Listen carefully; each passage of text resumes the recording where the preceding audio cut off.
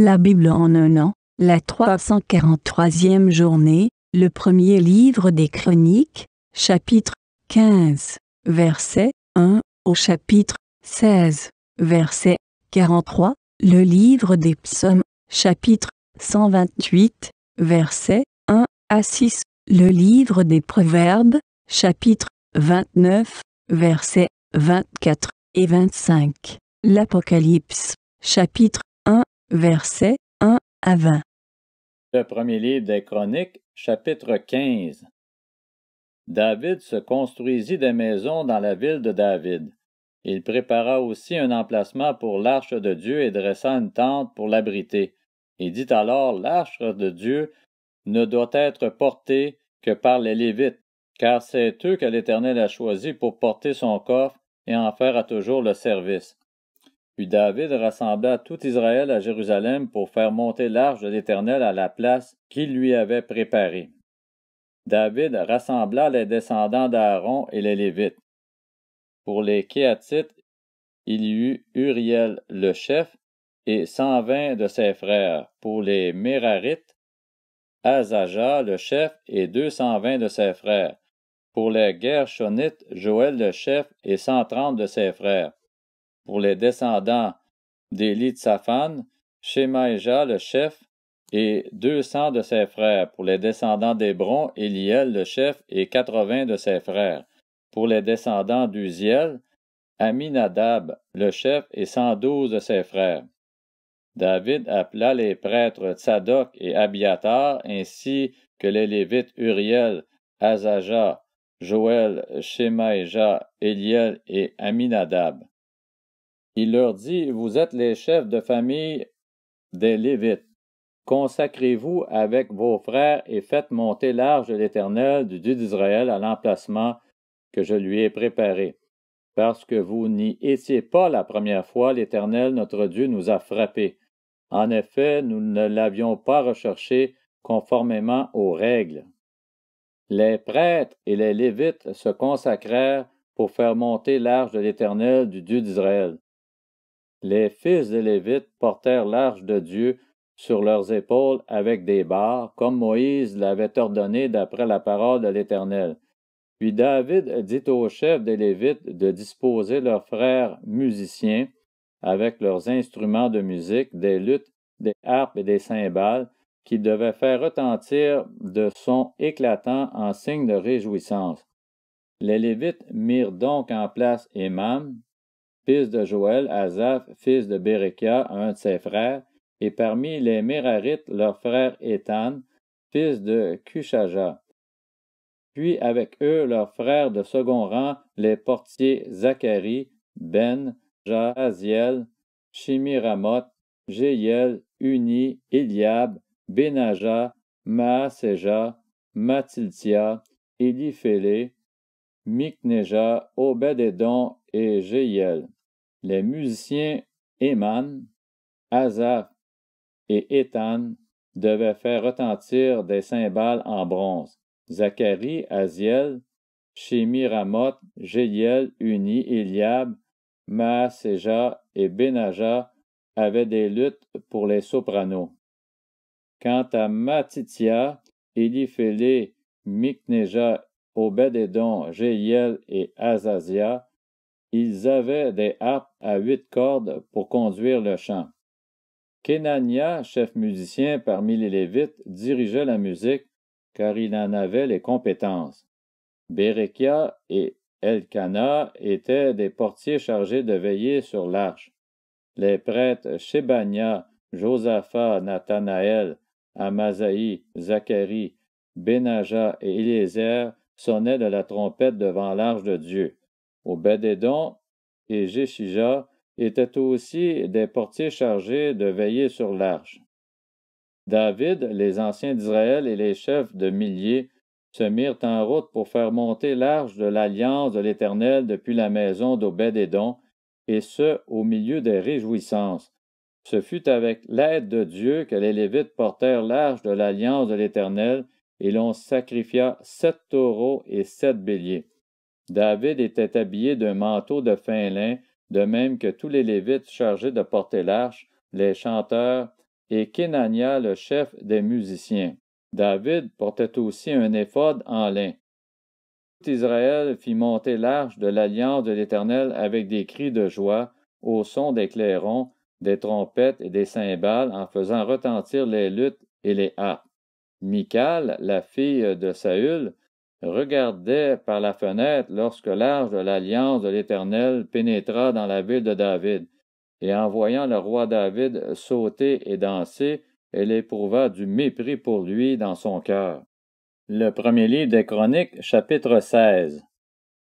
Une fois qu'on eut amené l'arche de Dieu, on la plaça au milieu de la tente que David avait dressée pour elle, et l'on offrit des holocaustes et des sacrifices de communion devant Dieu. Quand il eut fini d'offrir les holocaustes et les sacrifices de communion, David bénit le peuple au nom de l'Éternel. Puis il distribua à tous les Israélites, hommes et femmes confondus, à chacun un pain, une portion de viande et un gâteau au raisin. Il confia à des Lévites la responsabilité de faire le service devant l'arche de l'Éternel, de rappeler le souvenir de l'Éternel, le Dieu d'Israël, de le louer et le célébrer. C'étaient Azaph, le chef, Zacharie son second, Jéhiel, Shimiramoth, Jéhiel, Mathiltia, Eliab, Benaja, Obed-Edom et Jéhiel. Ils avaient des instruments de musique, des luttes et des harpes, et Azaph faisait retentir les cymbales. Les prêtres Benaja et Zachaziel sonnaient continuellement de la trompette devant l'arche de l'alliance de Dieu. C'est ce jour-là que David chargea pour la première fois Azaph et ses frères de célébrer la louange de l'Éternel. Louez l'Éternel, faites appel à son nom, faites connaître ses hauts faits parmi les peuples, chantez en son honneur, jouez de vos instruments en son honneur, célébrez toutes ses merveilles, placez votre fierté dans son saint nom, que le cœur de ceux qui cherchent l'Éternel se réjouisse. Ayez recours à l'Éternel et à sa force, recherchez constamment sa présence. Souvenez-vous des merveilles qu'il a accomplies, de ses miracles et de ses jugements, descendant d'Israël, son serviteur, enfant de Jacob qu'il a choisi. L'Éternel est notre Dieu, ses jugements s'exercent sur toute la terre. Rappelez-vous toujours son alliance, son mot d'ordre pour mille générations, le pacte qu'il a traité avec Abraham, le serment qu'il a fait à Isaac. Il l'a érigé en prescription pour Jacob, en alliance éternelle pour Israël, quand il a dit Je te donnerai le pays de Canaan, c'est l'héritage qui vous est attribué. Ils étaient alors peu nombreux, très peu nombreux, et étrangers dans le pays. Ils erraient d'une nation à l'autre et d'un royaume vers un autre peuple, mais il n'a pas laissé personne les opprimer, et il a puni des rois à cause d'eux. Ne touchez pas à ceux que j'ai désignés par onction, et ne faites pas de mal à mes prophètes. Chantez en l'honneur de l'Éternel habitant de toute la terre, annoncez de jour en jour son salut, racontez sa gloire parmi les nations, ses merveilles parmi tous les peuples. Oui, l'Éternel est grand et digne de recevoir toute louange, il est redoutable, plus que tous les dieux. En effet, tous les dieux des peuples ne sont que des faux dieux, alors que l'Éternel a fait le ciel. La splendeur et la magnificence sont devant lui, la force et la joie remplissent sa résidence. Famille des peuples, rendez à l'Éternel, rendez à l'Éternel gloire et honneur. Rendez à l'Éternel la gloire due à son nom. Apportez-lui des offrandes et venez en sa présence. Prosternez-vous devant l'Éternel avec des ornements sacrés. Tremblez devant lui, habitants de toute la terre. Le monde est ferme, il n'est pas ébranlé. Que le ciel se réjouisse, que la terre soit dans l'allégresse, que l'on dise parmi les nations l'Éternel règne. Que la mer retentisse avec tout ce qu'elle contient, que la campagne et tout ce qui s'y trouve soient en fête, que les arbres des forêts poussent des cris de joie devant l'Éternel, car il vient pour juger la terre. Célébrez l'Éternel, car il est bon, oui, sa bonté dure éternellement. Dites, Sauve-nous, toi le Dieu qui est notre Sauveur, rassemble-nous et retire-nous du milieu des nations. Ainsi nous célébrons ton saint nom, et nous mettrons notre gloire à te louer. Béni soit l'Éternel, le Dieu d'Israël, d'éternité en éternité. Et tout le peuple dit Amen, louez l'Éternel. David laissa Azaph et ses frères là devant l'arche de l'alliance de l'Éternel, afin qu'ils effectuent le service régulier devant l'arche, suivant les exigences de chaque jour. Il désigna Obed-Édom, fils de Jédutun, et Osa, ainsi que leurs soixante-huit frères comme portiers. Il chargea le prêtre Sadoc et ses frères prêtres de servir devant le tabernacle de l'Éternel sur le haut lieu qui se trouvait à Gabaon. Il devait constamment, matin et soir, offrir à l'Éternel des holocaustes sur l'autel des holocaustes, en respectant tout ce qui est écrit dans la loi d'Éternel prescrite par lui à Israël. Avec eux se trouvaient Éman, Jédutun et les autres, ceux qui avaient été choisis, nommément désignés pour louer l'Éternel, car sa bonté dure éternellement. Éman et Jédutun avaient la charge des trompettes et des cymbales à faire retentir, ainsi que des instruments pour les chants en l'honneur de Dieu. Quant aux fils de Jédutun, ils étaient portiers. Tout le peuple repartit, chacun chez soi, et David retourna chez lui pour bénir sa famille. Le livre des psaumes, chapitre 128. Chant de montée. Heureux tout homme qui craint l'Éternel, qui marche dans ses voies. Tu profites alors du travail de tes mains, tu es heureux, tu prospères. Ta femme est comme une vigne porteuse de fruits dans ton foyer, tes fils sont comme des plants d'olivier autour de ta table. C'est ainsi qu'est béni l'homme qui craint l'Éternel.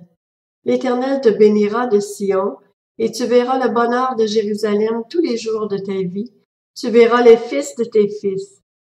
Que la paix soit sur Israël. Le livre des Proverbes, chapitre 29. Celui qui partage avec un voleur se déteste lui-même.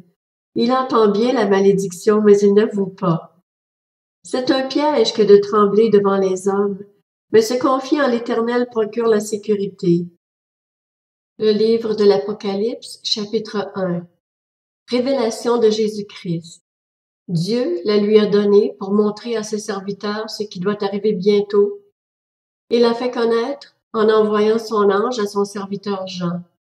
Celui-ci lui a attesté. Tout ce qu'il a vu est la parole de Dieu et le témoignage de Jésus-Christ. Heureux celui qui lit et ceux qui écoutent les paroles de la prophétie et gardent ce qui s'y trouve écrit, car le moment est proche.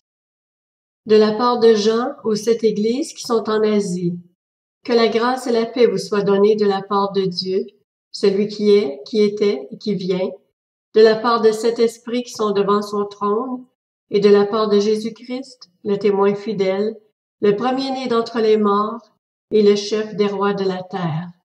À celui qui nous aime, qui nous a lavés de nos péchés par son sang, et qui a fait de nous un royaume, des prêtres pour Dieu son Père, à lui soit la gloire et la domination au siècle des siècles.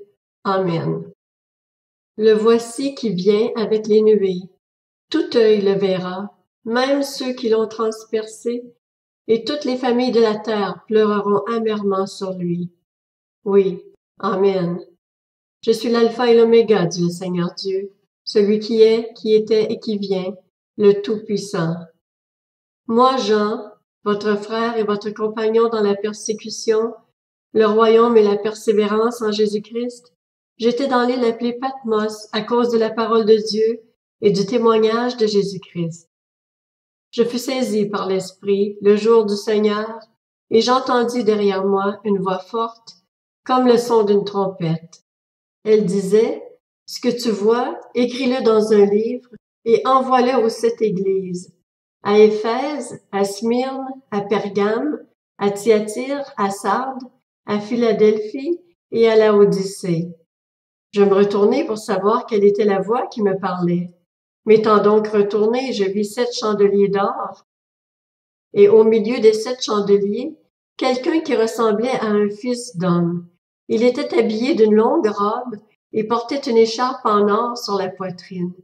Sa tête et ses cheveux étaient blancs comme de la laine blanche, comme de la neige, Ses yeux étaient comme une flamme de feu, ses pieds étaient semblables à du bronze ardent, comme s'ils avaient été embrasés dans une fournaise, et sa voix ressemblait au bruit de grandes eaux.